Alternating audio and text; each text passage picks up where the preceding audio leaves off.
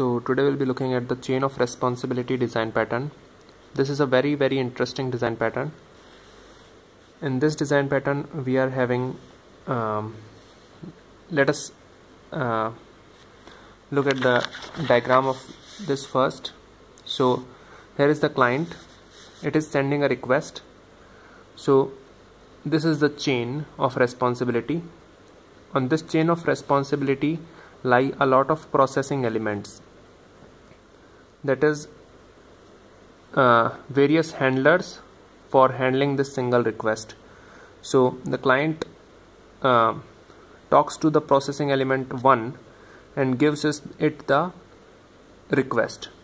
So whatever it can do it will do for the request and it will pass it pass the request to processing element 2 again whatever it can uh, do for the request it will do and it will pass to the next element and it will keep on passing on this chain. And when everything is done if there is a response uh, if uh, it was let's say a database updation query then there is no response. We just need to update uh, the data in our database. That's all. We are done.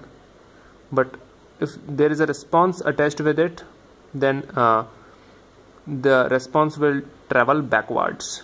Okay so now let's look at the code for it. Okay so uh, this is the code. So this is the abstract class chef. Okay so this chef is basically representing what we uh, called a processing element in the diagram. So chef is one who processes a request. And our request which we are talking about is a food request. So the customer orders some food and the chef prepares it. So each chef can have a successor chef. So we will be talking about chop chef one who chops the vegetables cook chef one who cooks the vegetables and serve chef one who serves the vegetables okay. So you can uh, take the chef as a general. So all three inherit from it. Okay. So each chef has a successor chef. Okay. Successor chef. And chef has some uh, properties like get task. What is the task of the chef? Chopping or serving etc some description of the task some uh, simple sentence which is describing its uh, job his job uh, there is a set successor method simple setter for this uh, successor uh, field. And uh, there is a important method which is the process request method. Let's look at this method clearly.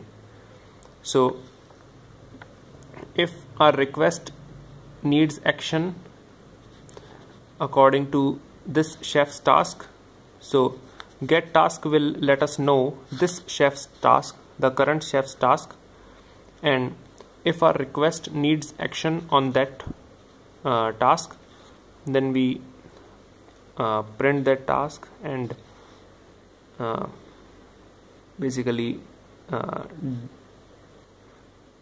printing uh, like if the task is chop then chopping and the raw material name. Okay?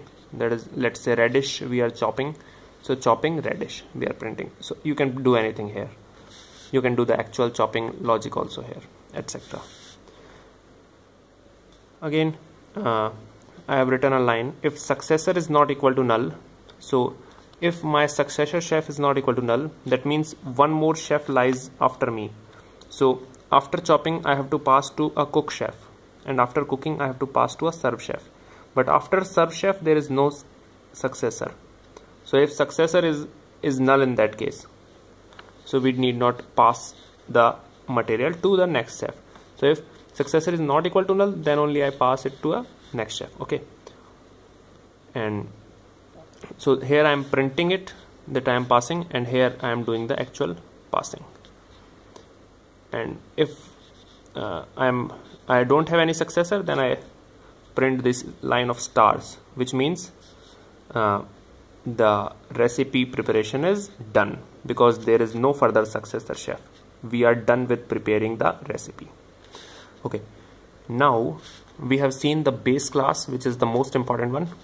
We quickly look at the chop chef. It implements the get task as chopp because in chopping I have to print here get task plus ing right?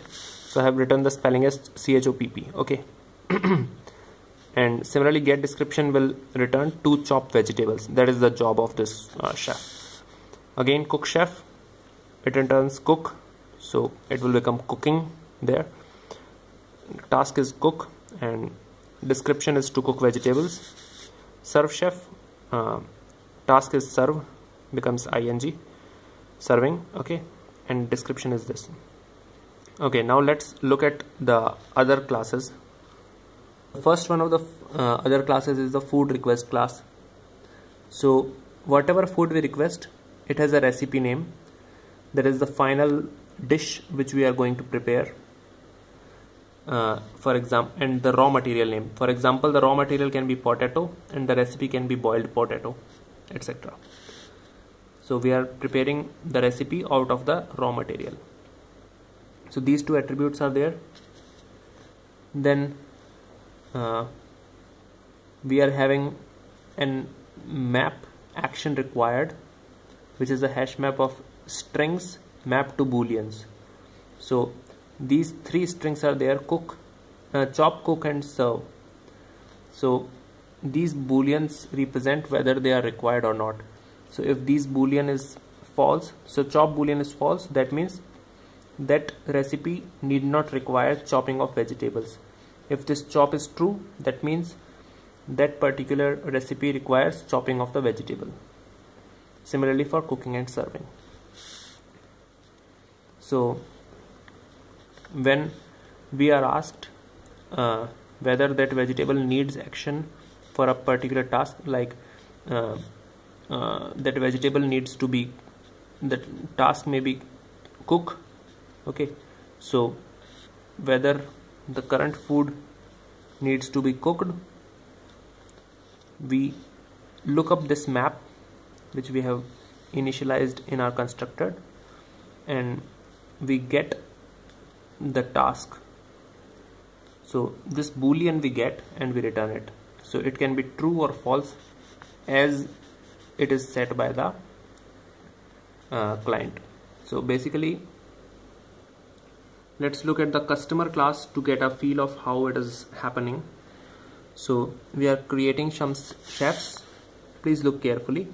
Chop chef cook chef and serve chef. I'm creating three chefs okay?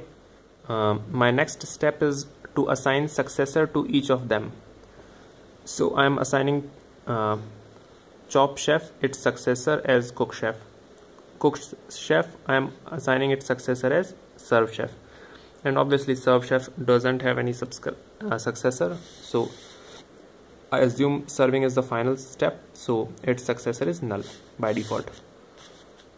Now let's get some customer or client requests in our queue. So we maintain a queue of food requests. So this is a basic layer linked list. So we add new food requests in that queue. So first is salad this is the salad. Uh, salad is the final recipe name. So as we can see in uh, this constructor the first is recipe name. Other is raw material name and then these three booleans so basically let's quickly look at this. Salad is the recipe name. Radish is the raw material we require for this recipe. True means chopping is required. Second boolean is false. That means cooking is not required for salad. Third is true. That means serving is required. And similarly for boiled potato and chonk chonk is in India uh, intermediate uh, recipe which is required to prepare pulses etc so no serving is required in this. Also jeera is a simple uh, spice so it need not require to be chopped. Only cooking is required for that. Let's prepare some food after all. So while queue is not empty we uh, we call chopchef dot process request queue dot remove. We remove one by one and process the request. So chopchef which is the root is talking point for a client. So a client talks to the uh, chopchef. The chopchef does it its own work and passes the request to the uh, cook chef. Cook chef does it work and passes it to the serve chef. And